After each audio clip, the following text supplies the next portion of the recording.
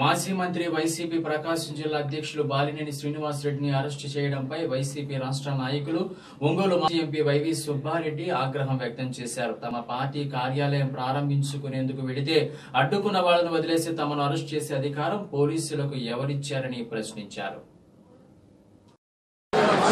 ఈ రాష్ట్రంలో పోలీస్ వ్యవస్థ ఎట్లున్నది ఎట్లా పనిచేస్తుందనే దాని ఇక్కడే కాదు రాష్ట్ర వ్యాప్తంగా కూడా. పోలీస్ అధికార పార్టీ భక్తులుగా మారి వ్యవహరిస్తున్నారనే దానికి ప్రజాస్వామ్య వ్యవస్థలో ఏ రాజకీయ పార్టీకైనా పార్టీ కార్యాలయం ఓపెన్ చేసుకునే అధికారం ఉంటుంది ప్రజా సమస్యలపై స్పందించడానికి పార్టీ కార్యాలయం అనేది చాలా అవసరం. ఇట్లాంటి దుర్మార్గం రాష్ట్ర సభలో సాగిస్తున్నారు ఈ ప్రభుత్వంలో పార్టీ కార్యాలయం ఓపెన్ చేసుకుని రాబోయే కార్యక్రమం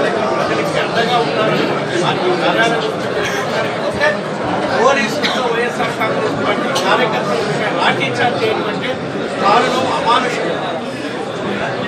నేను ఇక్కడే కాదు రాష్ట్ర వ్యాప్తంగా గత వారం పది రోజుల నుంచి పోలీసు చర్యలు చూస్తుంటే వీళ్ళు ఒంటొత్తి పోకడక అధికార పార్టీ గుర్తులుగా మారి ప్రజల్ని వైఎస్ఆర్ కాంగ్రెస్ పార్టీ కార్యకర్తల్ని నాయకుల్ని భయభ్రాంతులకు చేసే కార్యక్రమం చేస్తున్నారనేది అర్థమవుతుంది నిన్న చంద్రగిరి నియోజకవర్గంలో జిల్లాలో వైఎస్ఆర్ కాంగ్రెస్ పార్టీ ఎమ్మెల్యేని అరెస్ట్ చేసి రాత్రంతా తమిళనాడులో తిప్పి మార్నింగ్ నాలుగున్నరకి కంచవేడు పోలీస్ స్టేషన్లో పడేస్తే బీపీ వచ్చి ఆయన పడిపోయే పరిస్థితి టాబ్లెట్స్ కూడా ఇవ్వకుండా పోలీసులు అమానుషంగా ప్రవర్తించారు నా దృష్టికి వచ్చినాక మార్నింగ్ పది గంటల నుంచి ఎస్పీ గారితో మాట్లాడితే మీ నాయకులంతా మీకు వేరే విధంగా చెప్తున్నారు సార్ అది అది అట్లా లేదు వాస్తవ పరిస్థితులు అంటే ఎట్లాంటి పరిస్థితులు? సరే ఒక ఎమ్మెల్యే రాత్రంతా పోలీస్ స్టేషన్ పోలీస్ స్టేషన్లో కూర్చోబెట్టి తమిళనాడులో మొత్తం తిప్పి బస్సులో ఒక్క ఎమ్మెల్యే బస్సులో కింద కూర్చోబెట్టి.